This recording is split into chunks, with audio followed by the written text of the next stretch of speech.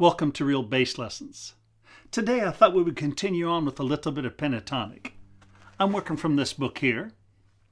Uh, I've had positive response to the lesson with the pentatonic and the book too. So I thought we'd go a little further in it. We've actually jumped about three quarters of the way through the book now, and we're going to work on a very specific little exercise which will help you get that pentatonic together all over your fingerboard, okay? Now we're in major pentatonic. Check it out here.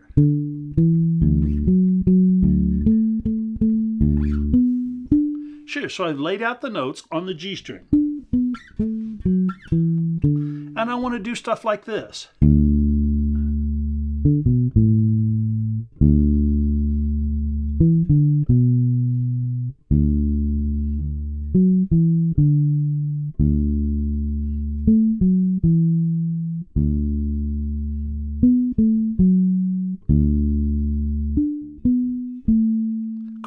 So we want to use that little root and then our three note pattern, starting on this one, starting here. Check it out. I'll play it once uh, with the play along, I think. Here we go.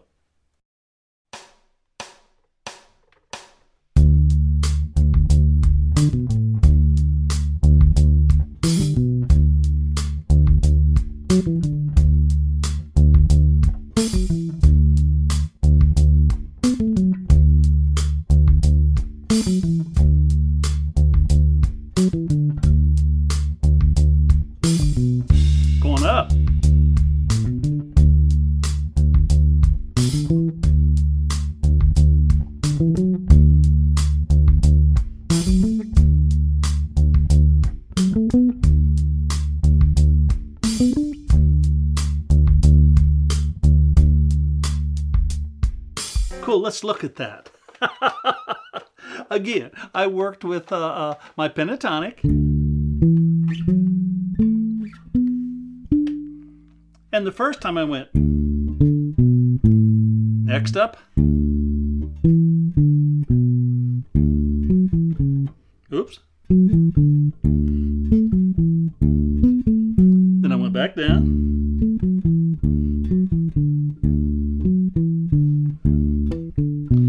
time I was still went up the neck, but I changed my little pattern.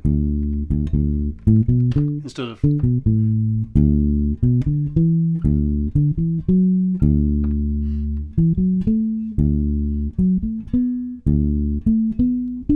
Sure, so it demands that you're going to learn uh, where those little starting riffs are on each one of these strings. Let's do it real slow motion again. Very first one, follow me up. Now let me get the tempo right. Back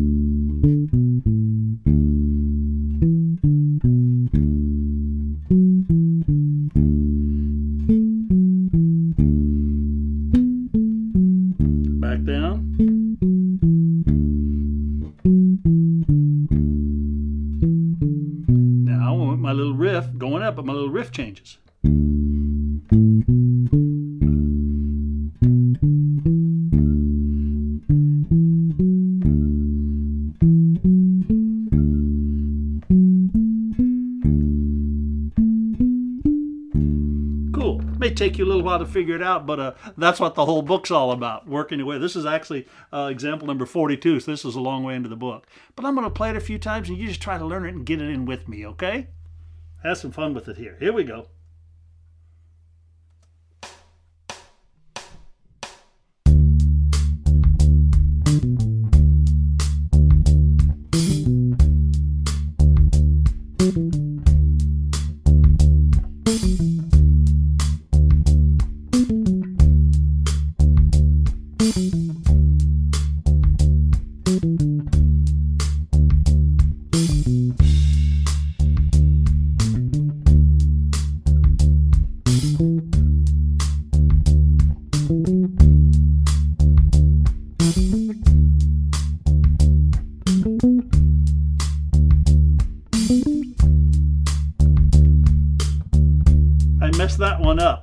It again.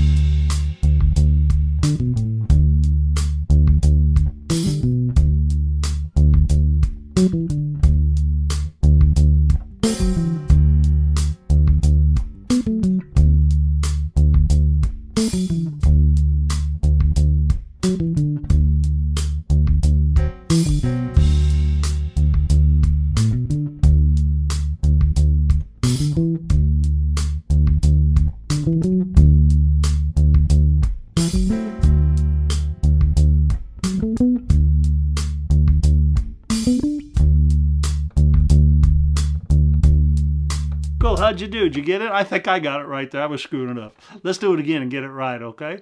This is a just tremendous exercise. Can you see how it's teaching you? You're seeing these little pentatonic shapes?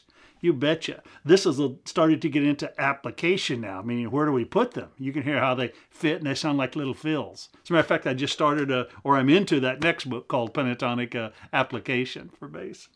Here we go, let's do it. Again.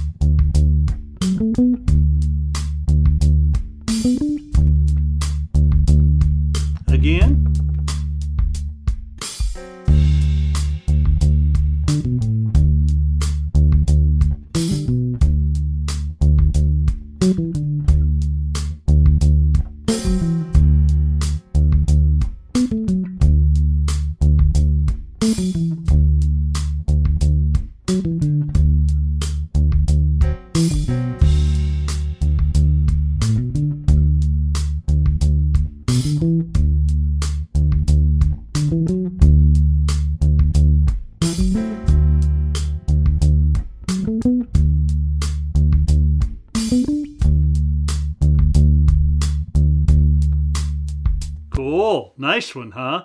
This will really get you learning that pentatonic. You know, pentatonic's one of those things that everybody says, oh, yeah, I know my pentatonics.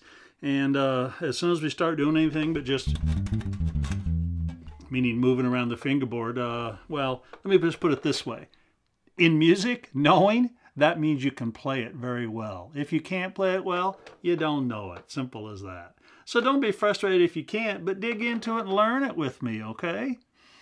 There's lots of application for pentatonic, but one must become you know comfortable with it all over the fingerboard. Same with learning like arpeggios or your basic chords, major, minor, dominant stuff.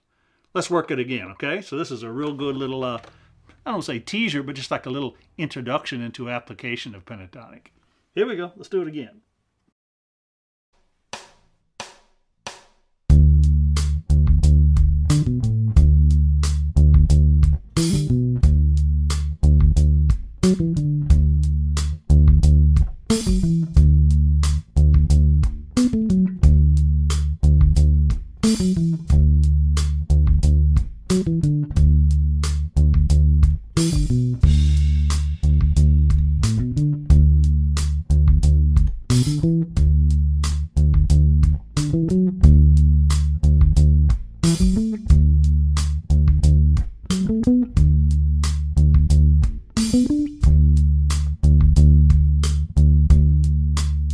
Again.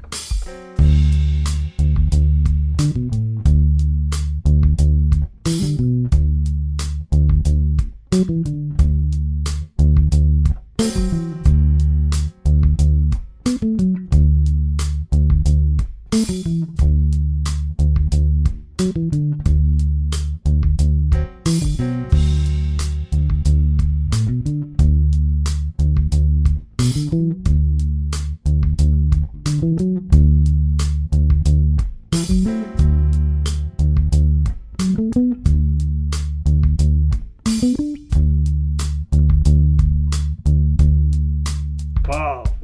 fun. It's a little bit of a mind twister, isn't it? Kind of cheap track. Well, the idea is you need to work on it all so much that it's muscle memory and you can use it in a live situation. Anytime in your to, anytime you have to think about your fingers or what notes, too late. The music doesn't slow down. Get it down. Perfect. Fire it up.